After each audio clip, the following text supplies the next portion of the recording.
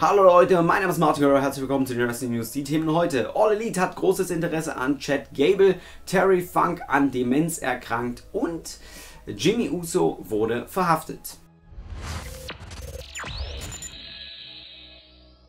Für die nächsten News-Episoden werde ich natürlich wieder über die Matches gehen, die wir für Unlimited Wrestling geplant haben. Das Event wird am 24.07. in Thale stattfinden und da wir eine Corona-Inzidenz von 0 haben, äh, heißt das für euch, dass es keine Testpflicht und keine Maskenpflicht am Platz gibt. Das heißt, ihr könnt ganz entspannt bei der Show dabei sein und äh, ich habe natürlich auch gleich den Main-Event für euch und zwar Bad Bones John Klinger gegen Fast Time Mudo um den Unlimited-Titel und wenn ihr noch Tickets haben möchtet, solltet ihr euch beeilen, denn wir haben nur noch 35 Stück und äh, das ist nicht mehr so viel. Von daher checkt unlimitedwrestling.de aus und dann äh, seid dabei.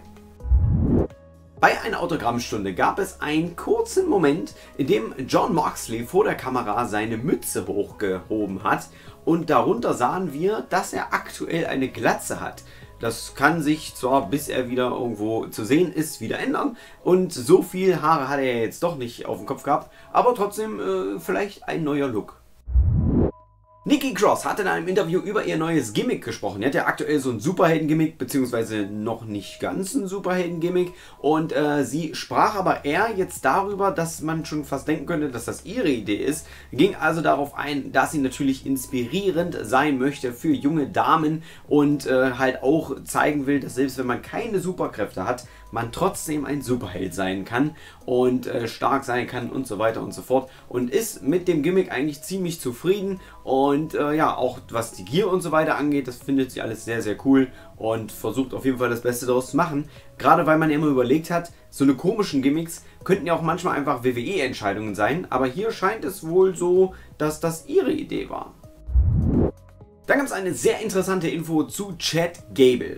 Aktuell ist er ja bei SmackDown und in einer Tag Team Geschichte mit Otis und äh, hier ist es aber so, dass sich das bald ändern könnte. Denn es gab mal das Gerücht, dass Chad Gables Vertrag demnächst auslaufen könnte. Das kam eigentlich mal zustande, indem Dex Harwood mal getwittert hat, dass der Vertrag von Chad Gable im Mai oder so auslaufen könnte. Und wir sind ja jetzt im Mai oder so, also eigentlich schon in dem oder so Bereich, aber trotzdem, das heißt, es könnte sein, dass so langsam der Vertrag von ihm ausläuft. Und dann ist natürlich die Frage, wird er bei der WWE bleiben oder vielleicht woanders hingehen? Denn es gibt schon einige Stimmen bei All Elite, die schon immer gesagt haben, dass wenn Chad Gables Vertrag auslaufen würde, er sofort bei All Elite einen Platz bekommen würde. Das heißt, ihm stehen da eigentlich sehr gut die Türen offen. Heißt natürlich auch wieder, vertragsverhandlungsmäßig ist das eine gute Sache für Chad Gable. Kann dann halt entweder dazu führen, dass er mehr bei der WWE demnächst verdient oder dass er zu All Elite geht. Und auch Pro Wrestling Gorilla hat jetzt bekannt gegeben, dass sie wieder zurück sind. Am 1. August wird es das erste nächste große Event vom Pro Wrestling Gorilla geben, wo dann auch wieder Publikum mit am Start ist. Denn die haben in der ganzen Corona-Zeit nichts mehr gemacht. Ist auch gut so, denn gerade die kranken Matches, die die da abfeuern, äh, da gehört Publikum schon irgendwie mit dazu. Und äh, ja, cool. Dann gibt es ja seit einigen Wochen immer wieder Dark Matches bei Raw und SmackDown, die natürlich aufgrund der Tatsache, dass kein Publikum da ist, irgendwie sinnlos sind. Das heißt, es sind eigentlich keine Dark Matches, sondern eher Tryout Matches.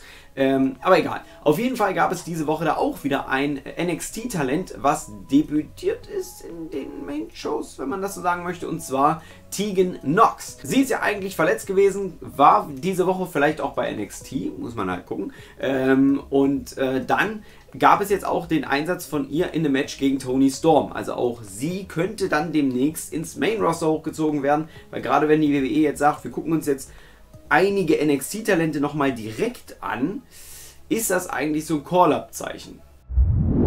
Dann haben wir ein paar Infos zu Paaren im Wrestling und zwar Chelsea Green und Matt Cardona, der ehemalige Zack Ryder, haben jetzt bekannt gegeben, dass sie am Neujahrstag, also am Silvester eigentlich, 31. Dezember, heiraten werden. Und Dana Brooke hat das Ja-Wort gegeben, denn sie hat sich jetzt mit ihrem Freund verlobt. Dann hat Gentleman Jack Gallagher im äh, Internet ein äh, Post veröffentlicht bezüglich einiger Pläne, die man eigentlich für Tour 5 Live hatte, bezüglich der Tag Team Titel. Wir wissen ja, das war eigentlich so ein übelstes Gerücht, das hat sich sehr lange gehalten, dass man die Tag Team Titel für Tour 5 Live einführen wollte. und daraus ist aber nie was geworden. Und Jack schrieb jetzt dazu, dass seit Tag 1 Tag Team Titel da waren. Die wurden zwar nie veröffentlicht, also die wurden nie in den Shows etabliert, aber die Gürtel an sich waren da seit dem ersten Tag von Tour 5 Live. Und immer wieder haben die verschiedenen Tour 5 Live Wrestler Ideen gepitcht, wie man diese Tag Team Titel einbringen könnte. Es gab die Ideen, dass man Mexican Style Tag Team Matches daraus macht oder Six-Man Tag, ein Trio-Style daraus macht und alles wurde weggeschmettert. Keiner wollte die irgendwie einführen, äh, zumindest nicht von den Offiziellen und so blieben die auf ewig quasi im Schrank. Jetzt könnte man aber auch sagen, aktuell gibt es ja bei NXT die Ansage, dass man die Cruiserweight Division viel näher in den Vordergrund äh, bringen möchte und damit verbunden, ich will das jetzt nicht beschreien, könnte man aber vielleicht doch nochmal drüber nachdenken, ob man vielleicht die Cruiserweight Tag Team Titel bei NXT einführt, aber da muss ich auch sagen, wäre ich jetzt nicht unbedingt so ein Fan von, denn Tour 5 Live war mal richtig stark, die Cruiserweight Division war richtig stark und das alles dann jetzt bei NXT zusammenzubringen mit den schon bestehenden NXT Tag Team Titeln und den NXT Tag Team Frauentiteln wäre vielleicht ein bisschen zu viel zu tun. Da gibt es eine nicht ganz so gute Nachricht und zwar bezüglich von der Extreme Wrestling Legende Terry Funk. Der ist nämlich aktuell in einer sehr schlechten Verfassung. Äh, körperlich und geistig soll es da einige medizinische Probleme mit ihm geben. Zum Beispiel wurde jetzt auch bestätigt, dass er an Demenz leidet und äh, dem scheint es halt wirklich nicht sehr gut zu gehen. Ähm, hier gab es auch den Bericht darüber, dass seit seine Frau 2019 verstorben ist, es nochmal rapide bergab ging mit ihm. Ja, weitere Infos hat man da aktuell nichts. Ähm, wird natürlich dann behandelt, aber tja, so, und dann kommen wir nochmal zu NXT und zwar zu Roderick Strong. Der hat nämlich bei NXT einen neuen Vertrag unterschrieben. Und das ist alles ein bisschen interessant, denn wir wissen ja, Roderick Strong ist ja mit dieser neuen Diamond Mine Gruppierung zurückgekehrt. Und das musste nicht unbedingt sein, denn klar, diese Gruppierung war geplant, aber man wusste ja nicht, ob äh, Roderick Strong wirklich einen neuen Vertrag unterzeichnet. Das heißt, man hat ihn erstmal aus den Shows genommen. Das ist übrigens eine Sache, die man aktuell mit sehr vielen NXT-Superstars macht. Das heißt, die Verträge laufen aus, man nimmt die erstmal aus den Shows und dann versucht man halt die Verträge neu zu machen und bringt sie halt dann wieder.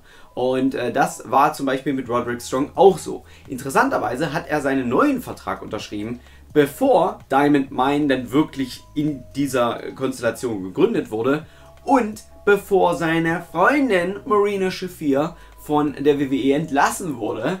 Denn wenn das jetzt vielleicht noch mit dazu gewesen wäre, hätte sich vielleicht Roderick Strong anders entschieden. Weiß man natürlich nicht, aber ist ja bestimmt nicht so positiv, dass die Frau entlassen wird.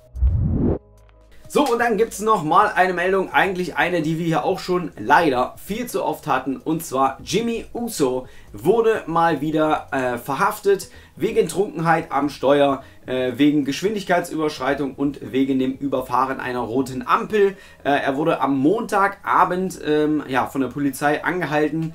Ähm, die haben halt gleich gerochen, okay, Alkohol ist hier mit im Spiel. Es gab wohl ein paar Bier und ähm, ja, wurde der natürlich äh, Alkoholtest gemacht und so weiter. Und da lag er den über dem Wert, der eigentlich erlaubt ist. Das heißt, Jimmy Uso wurde dann natürlich erstmal verhaftet. Das ging natürlich auch gleich durch die Medien, sowas ist halt immer. Und äh, dadurch, dass das halt wirklich schon häufiger mal passiert ist, würde ich sogar eher anraten, dass man da vielleicht mal was machen sollte. Denn dieses Trinken und dann Autofahren ist ja nun nicht so geil. Also da könnten ja auch viel schwerere Sachen noch passieren, gerade wenn man irgendwen noch verletzt oder sowas. Deswegen da sollte man vielleicht langsam mal drüber nachdenken, um Jimmy Uso denn irgendwie zu helfen, denn der scheint halt Probleme zu haben. Also schreit auf jeden Fall danach. Ähm, muss natürlich jetzt abgewartet werden, wie die WWE darauf reagiert, denn es gibt hier nämlich auch schon Stimmen, dass die WWE super sauer und enttäuscht über diese ganze Sache ist, äh, dass das halt jetzt erstens schon wieder passiert ist und halt auch gerade jetzt, denn er ist ja nun mal eingebunden in große Storylines und so weiter und ähm, da gibt es dann halt auch wieder Aufmerksamkeit, also gerade jetzt haut halt wieder so ordentlich rein, ähm, ja, wird auf jeden Fall auch nicht positiv sein für ihn, außer es ist jetzt so ein Grund, warum die WWE vielleicht reagiert und vielleicht irgendwelche Therapiesitzungen ansetzen würde. Soweit auf jeden Fall erstmal das News-Update für heute. Daumen nach oben, Abo da lassen, Glocke aktivieren und schreibt mir noch gerne mal eure Meinung in die Kommentare. Wen wollt ihr denn als Cruiserweight Tag Team Champions sehen. Ansonsten sehen wir uns im nächsten Video oder heute Abend im Livestream. Macht nicht mehr Solle, haut rein und